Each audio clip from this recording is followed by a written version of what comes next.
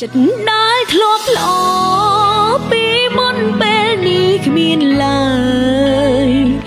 ចិត្តបាបប្រឹងបងហាញកាយប្រៃចិត្តខ្ញុំ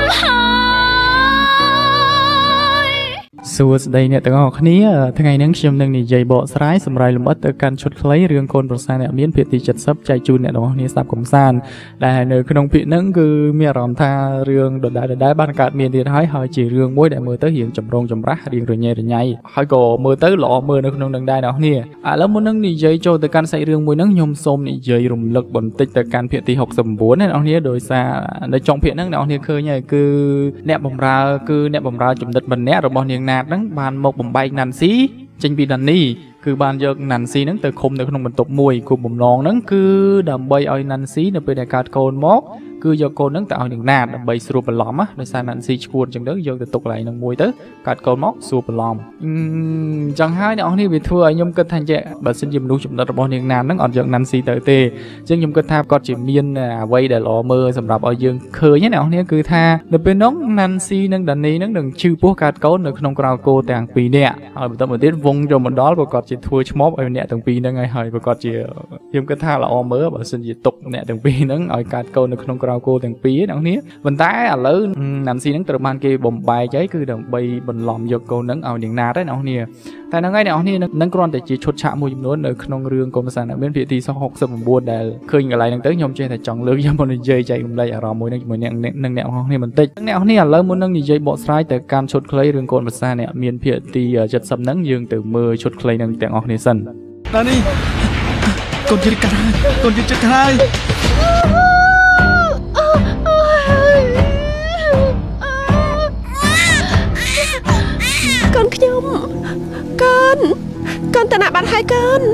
លោកជំទាវជួយមើលស្រីឈួតម្នាក់នេះគឺតាមពិតទៅវាគ្មានផ្ទៃពោះនោះទេហើយនេះអញយកស្អីមកនិយាយនឹងចៅចង្រៃបែបនេះយកមិនត្រូវការទេវើយអញមកបង្ហាញមុខឲ្យយើងឃើញទាល់តែបានខ្ញុំថាបំណុលលមុំដល់ពេលទូទាត់ជាមួយនឹងភូមិគ្រឹះមួយនេះបានហើយត្រូវចាំឲ្យច្បាស់ណា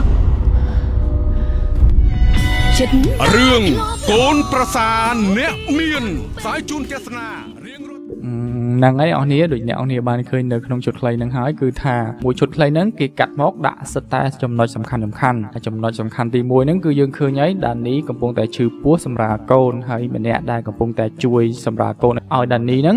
គឺប្រកាសជាប្តីគាត់វងហ្នឹងហើយអ្នកនរគ្នាព្រោះយើងធ្លាប់ឃើញនៅក្នុងឈុតខ្លីហ្នឹងហើយគឺជាវងហ្នឹងហើយដែលមកជួយប្រពន្ធនោះតមកទៀតនៅក្នុងកំឡុងពេលហ្នឹងដែរនៅខាងណាន់ស៊ីនេះវិញក៏ណាន់ស៊ីហ្នឹងបានឈឺពោះដែរ គឺជាឈឺពោះត្រៀមសម្រាប់កូននឹងនឹងដានីដែរគឺចំពេលតែមួយអ្នកនរហើយអ្វីដែលយើងបានដឹងគឺណាន់ស៊ីហ្នឹងត្រូវបានគេបំបែកចេញពីដានីយកទៅឃុំនៅក្នុងបន្ទប់មួយដើម្បីស្រួលនៅពេលដែលណាន់ស៊ីកាត់កូនហ្នឹងគឺយកកូនហ្នឹងទៅឲ្យនាងណាតនោះដើម្បីបន្លំធ្វើជាមានកូនមែនតើណាអញ្ចឹងកន្លែងហ្នឹងគឺអញ្ចឹងហើយអ្នកនរគឺមានឈ្មោះមានន័យមកបង្កើតឲ្យណាន់ស៊ីទៅទៅ តែប្រសើរជាងដានីដែលមានប្តីធ្វើជាឈ្មោះឲ្យហ្នឹងអញ្ចឹងអ្នកនរល្បិចមួយហ្នឹងគឺយើងធ្លាប់ឃើញហើយតាំងពីដើមឡើយនៅក្នុងរឿងហ្នឹងវាវល់វល់តារឿងអញ្ចឹងអញ្ចឹងអ្នកនរគឺកាលនោះជំទាវផាបានបន្លំហ្នឹងគឺឲ្យនាងគិនទៅដេកជាមួយនឹងប្តីរបស់គាត់បន្តមកទៀតក៏មានកូនពេលដែលនាងគិនកាត់កូនក៏គាត់យកកូនហ្នឹងមកធ្វើកូនគាត់មិនអញ្ចឹងអបន្ទាប់មកទៀតយើងឃើញថាមានការដោកូនរវាងមីងភៀបជាមួយនឹងលោកម្ចាស់រដ្ឋហ្នឹងហើយដោកូនគ្នា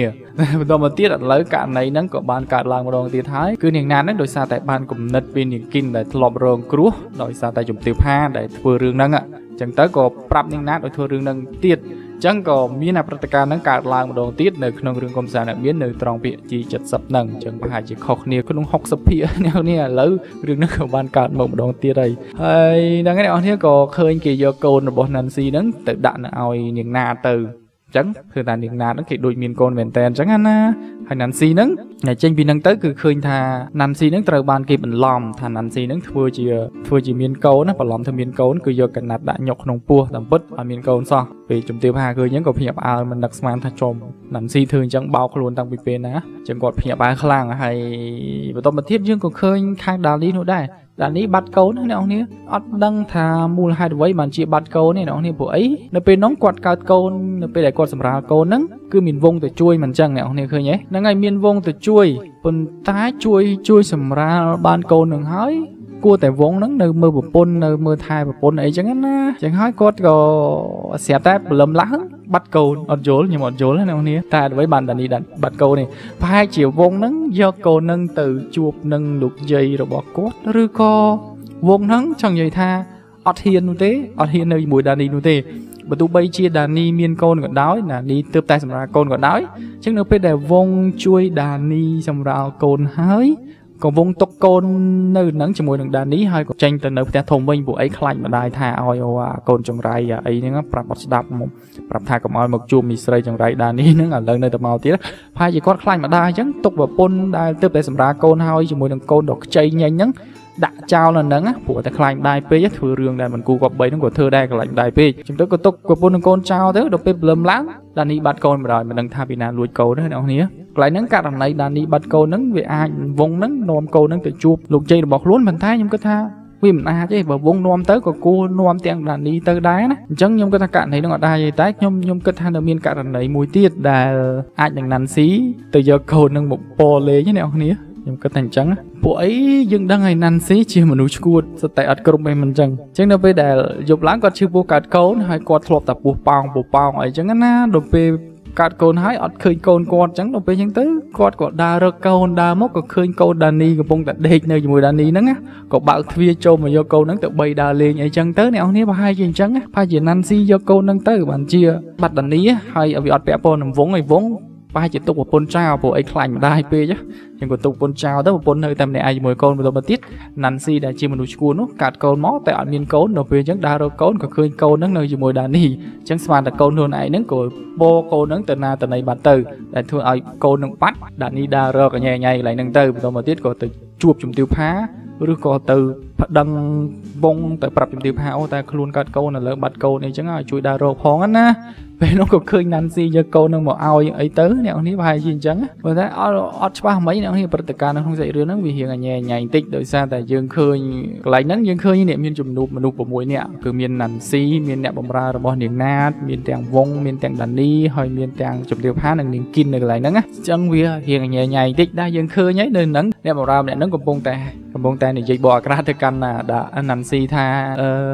នេះស្អីម្នាក់ហ្នឹងស្អីឈួតម្នាក់ហ្នឹងចេះបន្លំចេះអីនេះយកខ្នើយយកអីដាក់នៅក្នុងពោះធ្វើជាមានកូនតាមពិតអាគ្នាកើតកូនមែនយកកូនគ្នាទៅបាត់ហើយហើយមកនិយាយចោលប្រកាន់មនុស្សឈួតអញ្ចឹងទៀតទៀតជំទាវផាមិនភ្ញាក់ផ្អើលហើយហ្នឹងតទៅមកទៀតក៏ឃើញមានដានីហើយនឹងវងដែរដែលឃើញវងហ្នឹងកំពុងតែ3កូនរបស់ខ្លួននៅក្នុងដៃហើយកន្លែងហ្នឹងអត់ដឹងមិនទេអ្នកនេះប៉ុន្តែប្រហែលជាណានីទៅប្រាប់វងឲ្យជួយដើររកកូនហើយក៏រកកូនហ្នឹងឃើញនៅជាមួយនឹងណាន់ស៊ីអីចឹងណាហើយក៏យកកូនហ្នឹង ពីណាន់ស៊ីមកវិញហើយជំទាវផាមកដល់ក៏ណែនាំក៏ដានីហើយនឹងវងហ្នឹងណែនាំកូនរបស់ខ្លួនដែលត្រូវជាចៅរបស់ជំទាវផាហ្នឹងប្រាប់ទៅជំទាវផាទៅមកទៀតជំទាវផាក៏និយាយថាយើងមិនត្រូវការនោះទេអាចអាចចៅចង្រៃអញ្ចឹងគាត់ថាគ្នាកើតមកចាត់ទុកគ្នាជាចង្រៃបាត់ហើយអ្នកគ្នាមនុស្សនេះដូចចង់និយាយថាអើយដល់កមកគិតតែខ្លួនឯងហ្មងតែបិទបើមនុស្សល្អគេមិនគិតអញ្ចឹងគេអត់បានគិតរឿងចង្រៃអីដល់ខ្លួននេះអ្នកគ្នាគេគិតដល់ក្មេងក្មេងដែលទើបតែកើតមកនេះវាត្រូវការអីខ្លះអញ្ចឹងវាវេទនាវាវាអីប៉ុណ្ណាបើសិនជាម្ដាយនៅក្នុងក្រៅគោនៅអីអញ្ចឹងណាគេទៅគិតអញ្ចឹងប៉ុន្តែគាត់នេះអត់បានគិតអញ្ចឹងគិតតែខ្លួនឯងគិតតែចង្រៃគិតតែអីណាអត់ខ្វល់ខ្វាយគ្នាក្មេងដែលកើតមកអត់ដឹងអីខ្ចោះអត់ដឹងអីសោះហ្មងគេកើតមកតទេមកគាត់ថាគ្នាចង្រៃឯណាវាវាធ្វើឲ្យយើងនឹងបបាក់គិតថាកន្លែងហ្នឹងវាមានរឿងអ្វីកើតឡើងប៉ុន្តែប្រហែលជាខ្ញុំគិតថាគ្មានអ្វីក្រៅពីដានីហើយនឹងវងហ្នឹងយកចៅហ្នឹងមកឲ្យជំទាវផាមើលឯណាតែជំទាវផាខឹងអត់ចូលចិត្តអត់ស្រឡាញ់ចៅហ្នឹងឯង ហើយមួយវិញទៀតអឺយើងដឹងហើយជំទាវផាហ្នឹងទៅតែបានចៅមួយដែលជាកូនរបស់នាងណាតអ្នកនាងគឺកូនរបស់ណាន់ស៊ីតាមពិតតែយកចៅហ្នឹងមកបន្លំធ្វើជាកូនរបស់នាងណាតហ្នឹងហើយហើយក៏បានចៅមាសចៅពេជ្រមួយហើយដល់ពេលឥឡូវអាចៅមួយនេះអត់ប្រយោជន៍ទេដល់ពេលអញ្ចឹងអត់ខ្វល់បដ ாய் គិតតែរឿងចៅនោះទៅទៅបានជាគាត់ធ្វើសកម្មភាពអាក្រក់បែបហ្នឹងទៅកាន់កូនក្មេងដែលទើបតែកើតហ្នឹងអញ្ចឹងអ្នកនាងកន្លែងហ្នឹងគឺវាប៉ុណ្្នឹងប៉ុន្តែរឿងមួយទៀតដែលខ្ញុំចង់និយាយកន្លែងហ្នឹងគឺថាការនិពន្ធមួយនេះដូចថា ខ្ញុំចង់និយាយថាវាធ្វើឲ្យចៃដន្យចៃដន្យរហូតរឿងវាចៃដន្យពេកហ្មង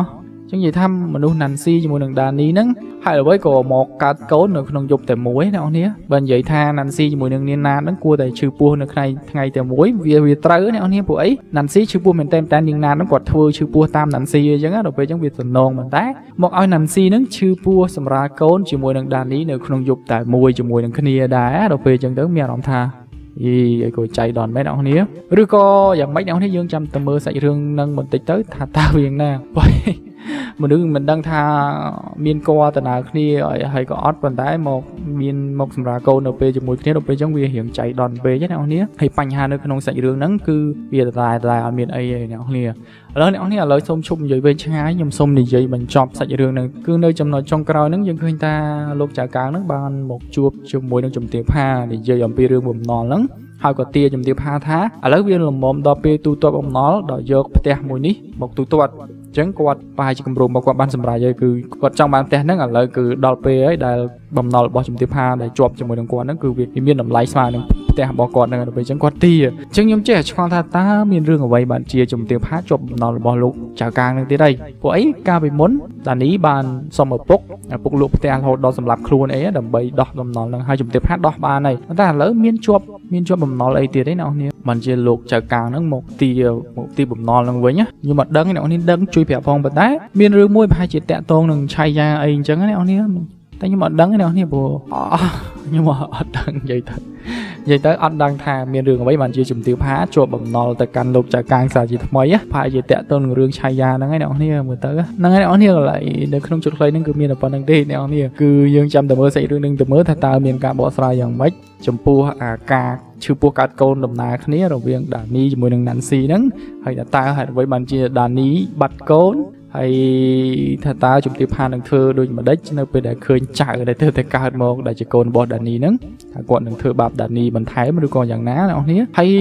យើងនៅចាំចម្ងល់មួយទៀតគឺតាក់ទងនឹងរឿងលោកចៅកាងហ្នឹងហេតុអ្វីបានជាជំទាវផានៅតែជាប់បំណុលលោកចៅកាងរហូតដល់វ៉ាន់កលរហូតដល់លោកចៅកាងមកទៀមទារឹបអស់ផ្ទះមួយហ្នឹងអញ្ចឹងអ្នកនរយើងចាំតែមើលភាគទី70នឹងទាំងអស់គ្នាថាតើ រឿងទាំងអស់ហ្នឹងវានឹងត្រូវបានបកស្រាយបែបណាចឹងអ្នកនរអរគុណច្រើនសម្រាប់ការតាមដានមកកាន់ការនិយាយបកស្រាយមួយនេះបើអ្នកនរពេញចិត្តជួយ like subscribe មកកាន់ channel នេះផងហើយសុខសប្បាយទាំងអស់គ្នាជម្រាបលាបាយបាយ